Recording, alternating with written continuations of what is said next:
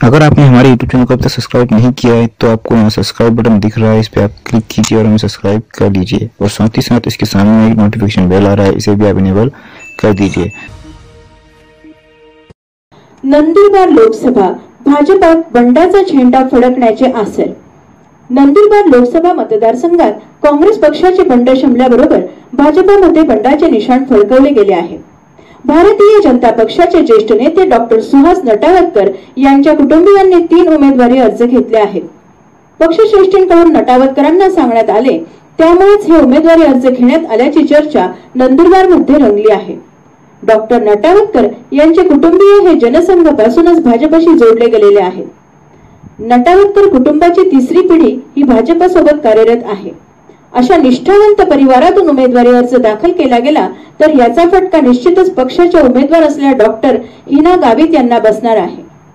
Doctor Suhas नटावतकर यांच्या कुटुंबातून त्यांच्या कन्या डॉक्टर समिधा नटावतकर या उमेदवारी करणार आहेत. डॉक्टर नटावतकर हे कोल्हापूरला चंद्रकांत दादा पाटील यांची भेट घ्यायला गेलेले आहेत. एकंदरीतच भाजपमध्ये हे बंड जाणीवपूर्वक केलं गेलं आहे की काय? उमेदवार बदलला जाणार का? याची चर्चा नंदुरबार लोकसभा मतदारसंघात रंगली आहे. माझा खानदेश न्यूज ब्युरो शिरपूर. काय सांगाल आपली पहिली प्रतिक्रिया?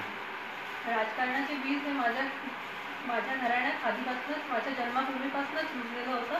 आणि माझ्या आजोबांनी जनतेची खूप सेवा केलेली आहे. ते नंदुरबार जिल्ह्याचे पहिले खासदार होते. आणि मीही जनतेची सेवा करू इच्छिते.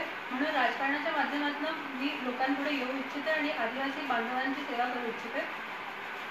नरेंद्र मोदींनी जे विकास विकासासाठी जे धोरण स्वीकारलेलं आहे ते युवक व युवतींना पुढे करत आहे. म्हणून त्यां- त्यांच्यासाठी त्यासाठी मी माझं योगदान देऊ इच्छिते.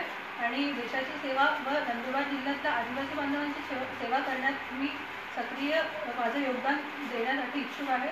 व त्यासाठीच मी उमेदवारीचा अर्ज भरलेला आहे आणि पक्षाने याची नोंद घ्यावी. व मला नक्कीच संधी द्यावी हीच मी पक्षाकडून अपेक्षा ठेव- ठेवते आणि संघाचंही योगदान माझ्या घराण्याने भरपूर केलेलं आहे. आधीपासूनच माझ्या आजोबांनी माझ्या वडिलांनी आणि मीही आधीपासूनच संघाची जुडलेली होती आणि मला मी या संधीचा उपयोग करू इच्छिते. तर माझी हीच इच्छा आहे की